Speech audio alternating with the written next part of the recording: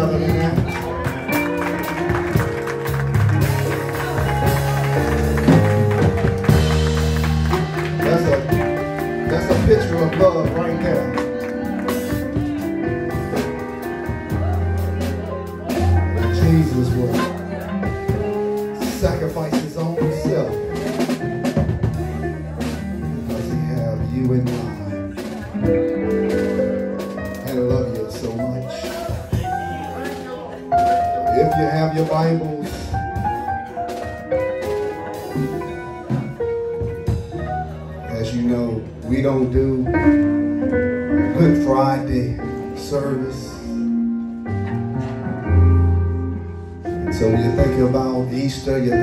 resurrection, there are so many pieces in that puzzle. And so on today, we will just look at one little piece. If you have your Bible, be so kind and turn with me to the book of Luke. Luke chapter 23. Luke chapter 23.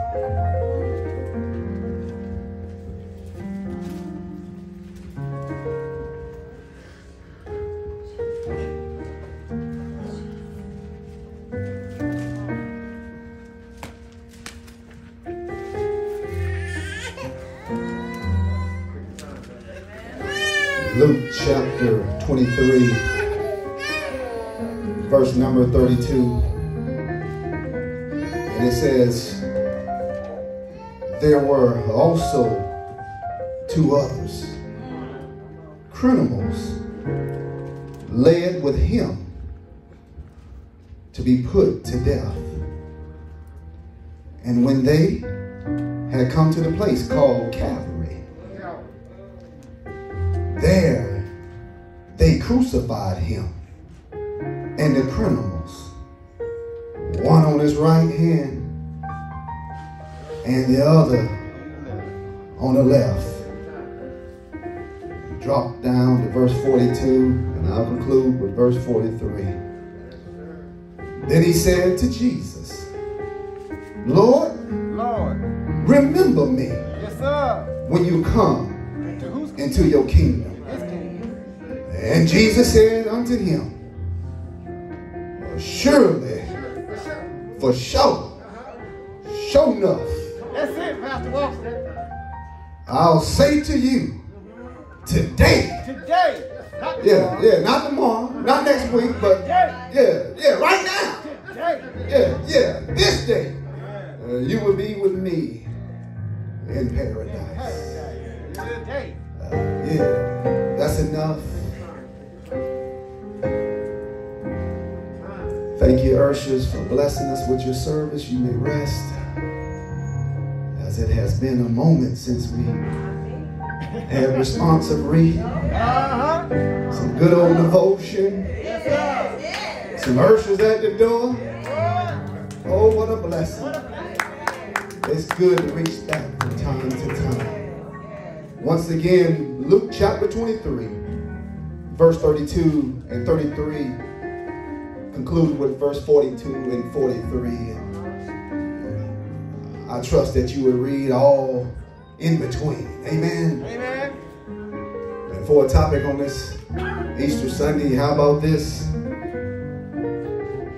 Three thieves on the cross. Three thieves on the cross. Oh, you gotta fix that up, Pastor Walker. I know it may sound Yeah, you got three on there. We listen. like I'm off my rocker, It ain't that bad. It ain't that bad. You got it. but just follow me All right. and I'll make my point All right. You teach. We'll listen. toward the end. Yes, sir. This morning, we are celebrating Resurrection Sunday. That's right. But in order to celebrate, you got to go back and find out what we're celebrating. That's right. And today in our text, we see Jesus being crucified on the cross of Mount Calvary between two common criminals.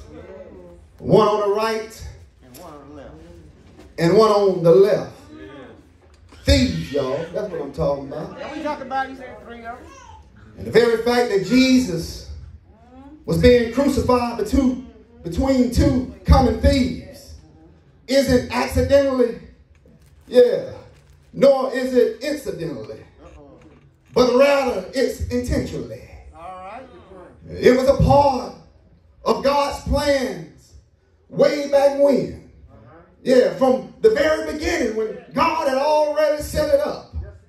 I know I'm right because, yeah, over 700 years ago, before this event even took place, the prophet by the name of Isaiah had already predicted in Isaiah chapter 53, verse 12, that he, talking about Jesus, yeah, would be, yeah, yeah, uh, be, be now amongst the transgressors, and that he would die in the midst of sinners. And now we see in our text that it's actually happened li- literally. Our Lord Jesus Christ was crucified between two thieves. Why, you may ask? Well, perhaps it is to show us the depth of God's love, the depth of God's compassion, to show us that God is willing to go as low as He needs to go. Good God Almighty, to save your souls from sin. Thank you, Jesus. Thank you. I don't know about you, but I'm thankful that He's able to go that low to reach down and grab you and I and pull us up just a little bit. Y'all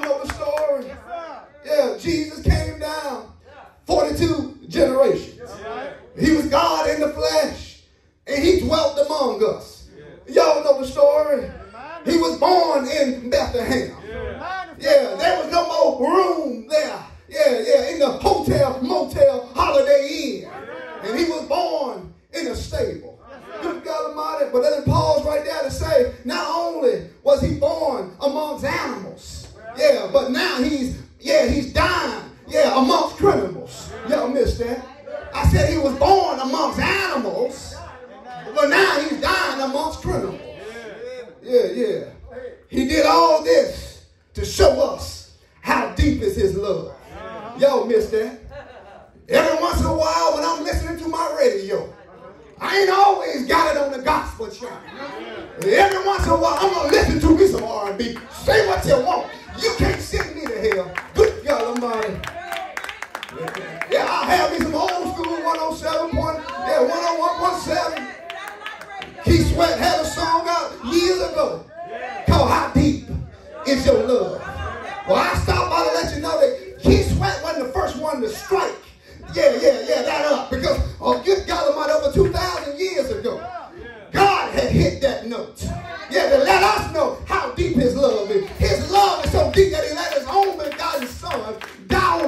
for your sins and my sins.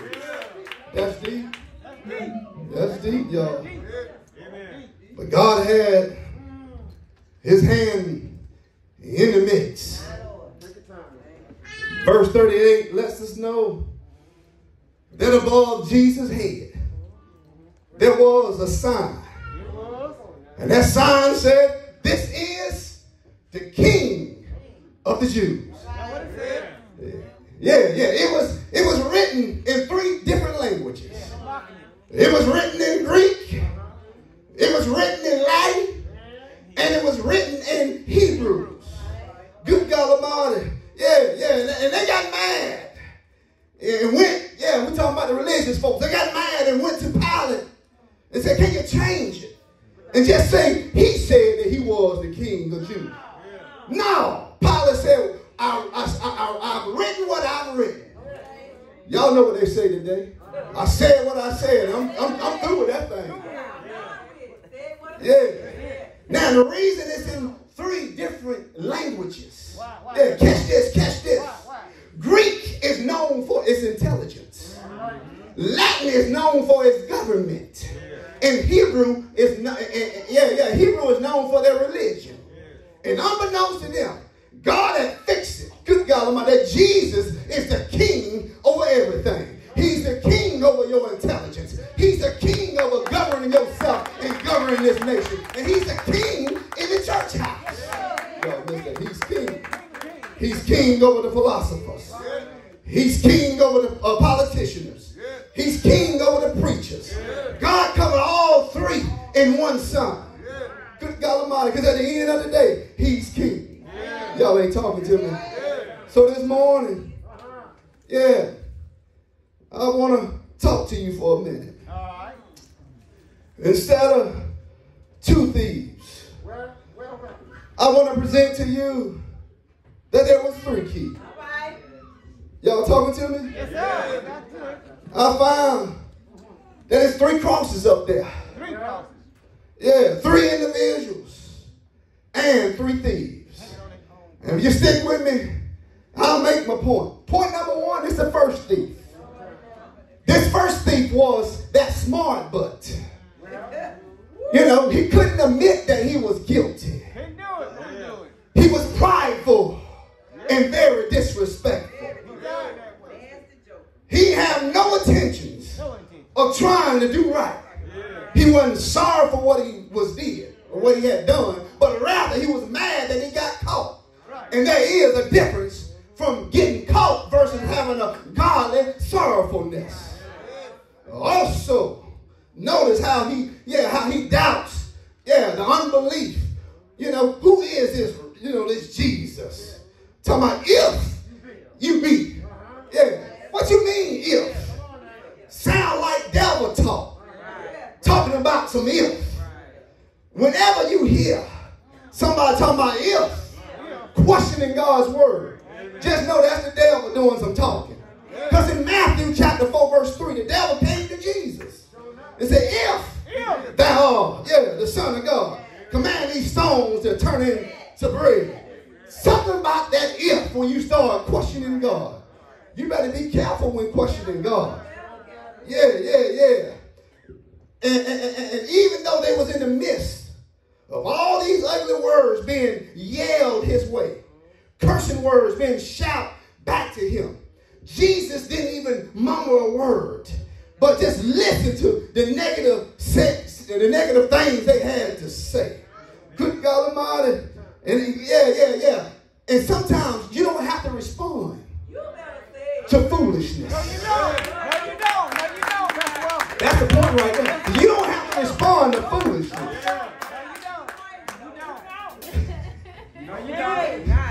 Somebody said you better not come at him crazy. Uh, I ain't say that now. Yeah. Point number two was the other thief.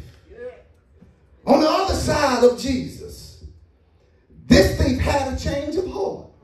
Yes, he did. I know I'm right because in Matthew chapter 27, verse 44, it tells us, starting off, both of them was insulting Jesus, shouting and scuffing at Jesus.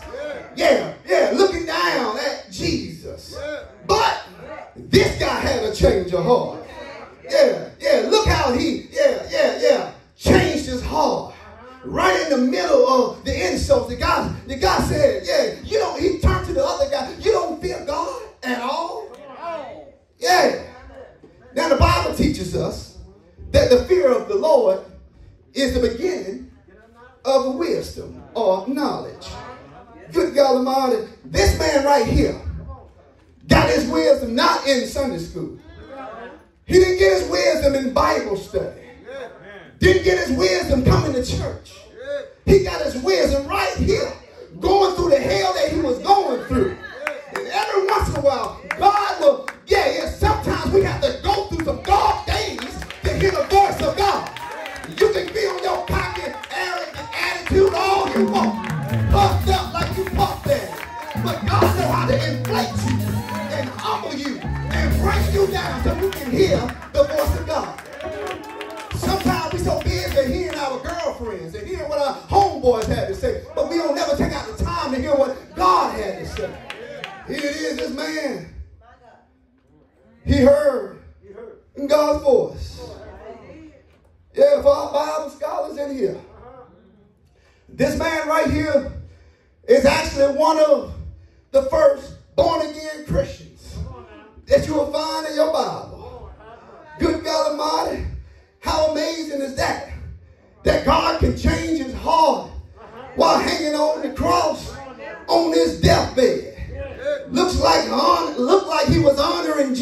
Jesus because he started calling him Lord, recognizing his identity.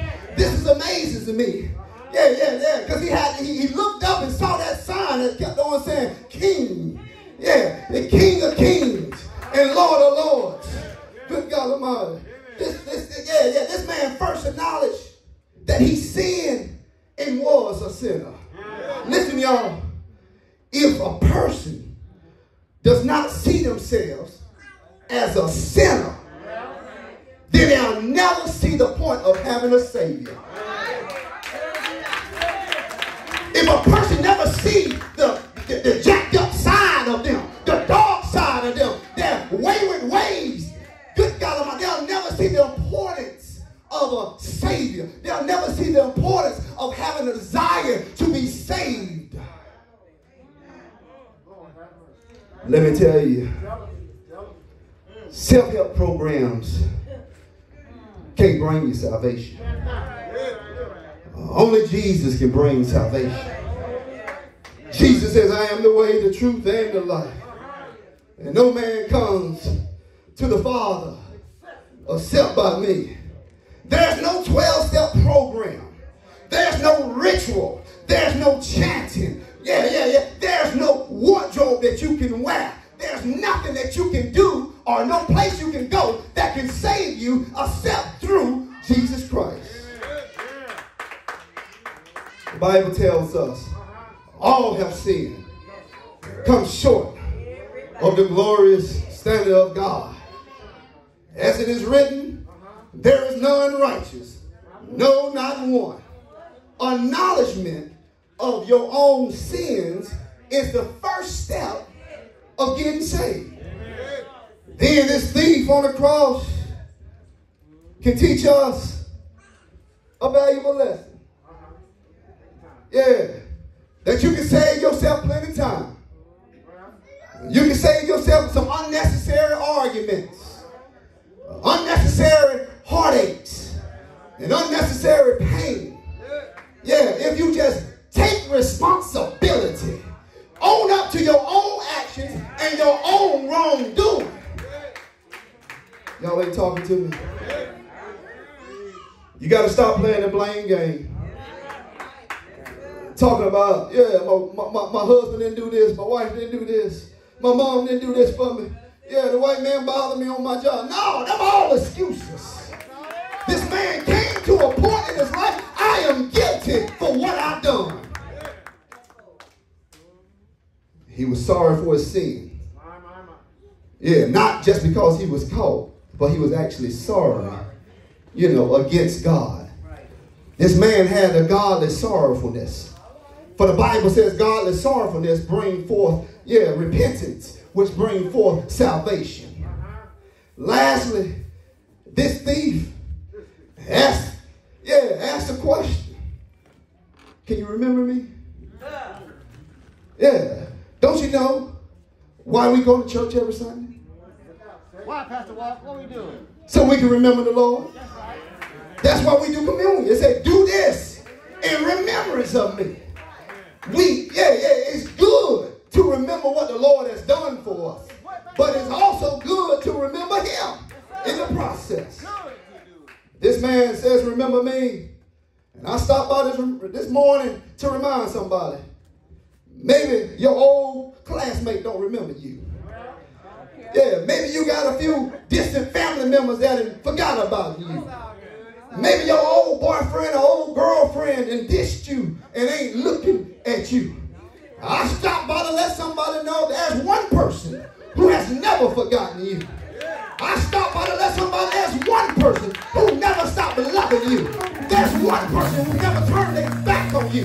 There's one person who never gave up on you. And his name is Jesus Christ. He's seeking your heart even now, right now.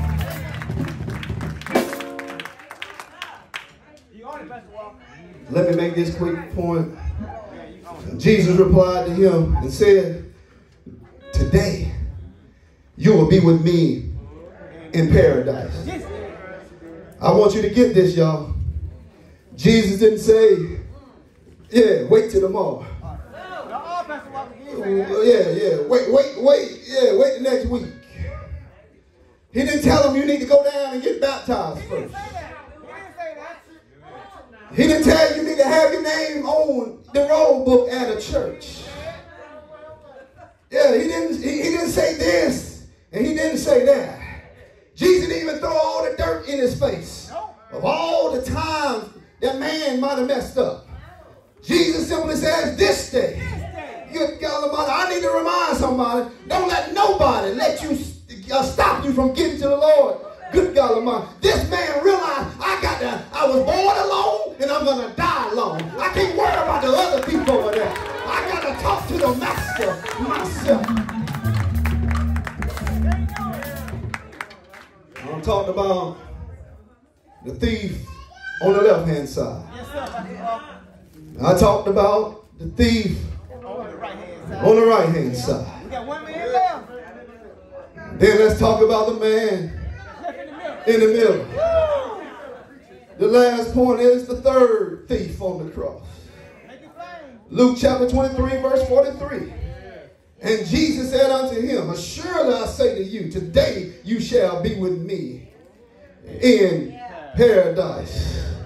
Good God Almighty. Yeah. Jesus, He is the master teacher. But not only is He the master teacher, He's the master thief. I said He's a thief because He specializes in pickpocketing. Y'all ain't talking to me? Now for those who don't know, yeah, what I'm talking about. Yeah, it's someone who can take something out of you without you knowing it.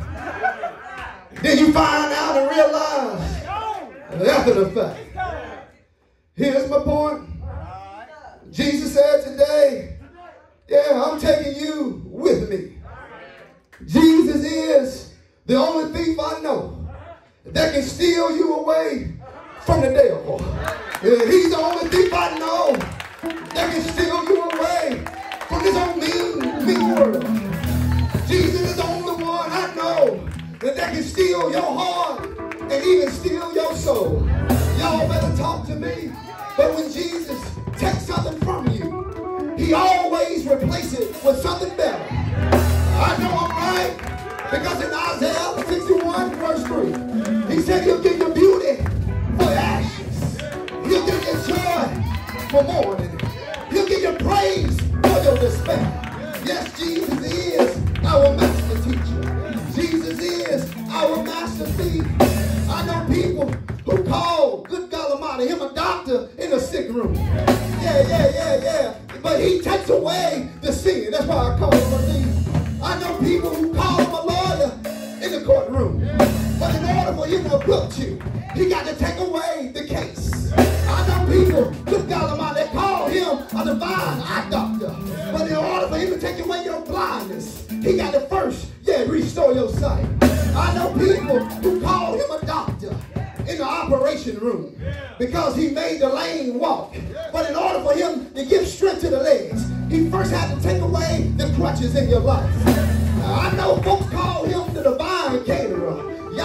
Can cook, but Jesus can cook even better. Because the Bible tells he fed 5,000 men. Yeah, with two little fish and five loaves of bread. But in order to physically satisfy you, he got to take away your hunger. He is our master teacher. He is the master thief on this Mount Calvary. Because he took away your sin. He stole your heart in the process. He's restored your soul. Good God Almighty. Jesus loved you so much. Good God, while he was dying for your sins and my sins, he was still saving somebody in the process. Because when that man said, remember me, yeah, yeah, yeah, yeah, he said, this day you shall be with me in paradise. He loved you so much that he died for your sins. And he died for my sins. Good God Almighty, and he gave up the ghost. They put him in a too. He stayed there all day Friday. Stayed there all day Saturday. Stay there all day Saturday night. But somebody said early, Sunday morning, he got up with all power. Power to make it walk right. Power to make it talk right. Healing power. Saving power. Delivering power. Any kind of power you need, you can find it in Christ Jesus. Say yeah. Say yeah. All over the building. Serve an awesome God that has stole many of our hearts. They have captured our attention. Thank you, Father. I love you. I love you. I love you, Lord. That's what Easter is all about. Because you care for me. It's about the resurrection. In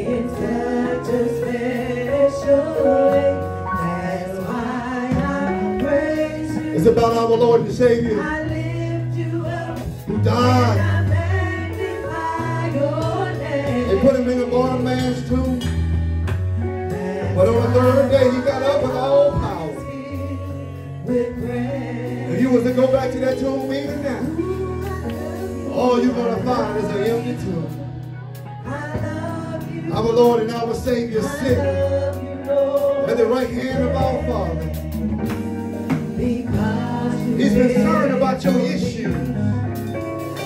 He's concerned about your problems. And if he can save an old, dirty sinner on the cross, surely there's hope for you and I. So the church doors is open. Would there be one? You might want to give that life to the Lord Jesus Christ. Tried it your way. You ran as hard as you can run. You might have a few dollars in your pocket. But if you're spiritually bankrupt, you need to come to Jesus. But the Bible says he stands at the door and he knocks. If any man, yeah, it up, he'll come in and sup with you. Fellowship with you, commune with you. He's the one that can wash away all your sins. No matter how the how dog your past may be, God can wash it away. You can't do it on your own.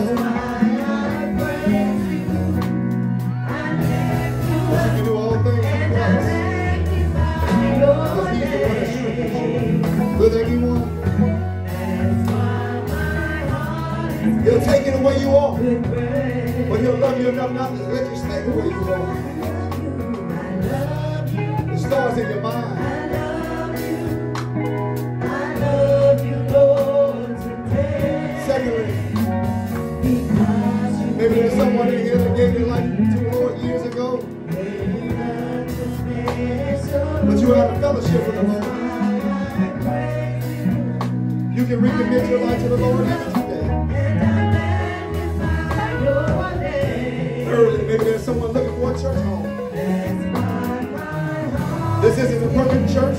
We're not perfect people. I'm not a perfect pastor, but we do serve a perfect God. Then lastly, anyone standing in need of prayer, we'll pray with you, we'll pray for you. Because you cared for me.